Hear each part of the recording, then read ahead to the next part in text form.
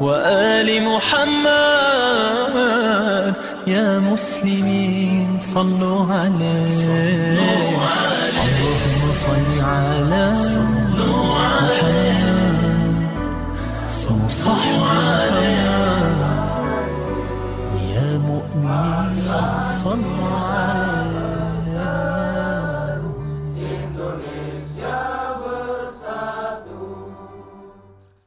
Assalamualaikum warahmatullahi wabarakatuh. Uh, saya Bagus Herdian, Ketua Prismatin, Muda Remaja Islam Masjid Agung Atin Taman Mini. Alhamdulillah dakwah yang sudah kita jalankan kurang lebih 17 tahun di wilayah Jabodetabek. Dakwah unik kita, kita ada namanya Duta-Duta Prismatin. Kurang lebih ada 15 Duta Prisma. Itu bagiannya tugasnya beda-beda. Itu ada Duta Pendidikan Mas Dude Herlino, terus duta Al-Quran uh, Ustaz Jauh Dewi, ada Mbak Meida Sepira duta lingkungan, terus ada Mas Dimas itu duta wirausaha, ada Mbak Dini Aminarti duta psikologi Prismatin, ada Ustadz Muhammad Azari Nasution dari Antp itu duta pengajian, ada Ustadz Jalulu Susanti duta keputrian.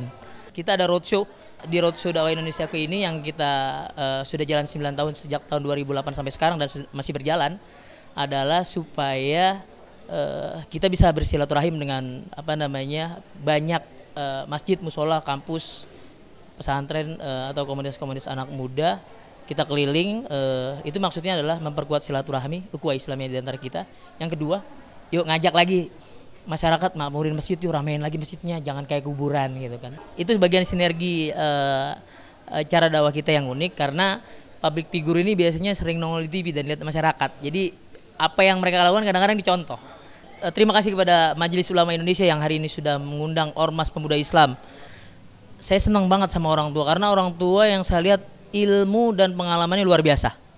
Dan ilmu dan pengalaman itu harus dibagikan kepada anak-anak muda atau pemuda. Karena pemuda ini kadang-kadang salah langkah.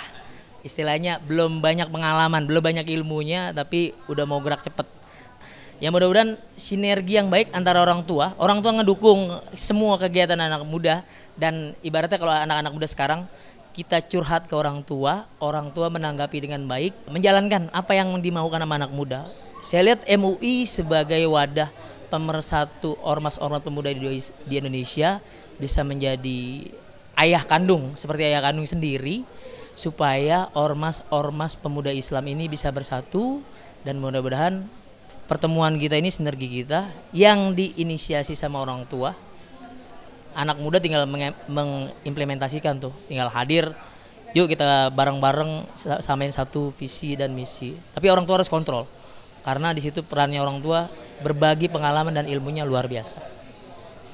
Saya setuju dengan eh, orang-orang uh, tua di MUI yang yang sangat kita hormati. Mudah-mudahan ya ke depan uh, acara-acara seperti ini ya dilaksanakan minimal sebulan sekali lah gitu. Undang-undang Ormas Pemuda Islam biar berkoordinasi dengan baik, bukan berkoordinasi lewat WhatsApp. Karena bahasa WhatsApp bahasa medsos itu seribu satu persepsi atau perkiraan. Tapi kalau tatap muka atau sinergi kita ketemu langsung, insya Allah kita bisa dapat dengan jelas menangkap keinginan apa dari orang tua dan apa keinginan dari anak muda kita bisa satukan dan itu bisa bermanfaat untuk masyarakat luas masyarakat muslim Indonesia pada umumnya amin ya robbal alamin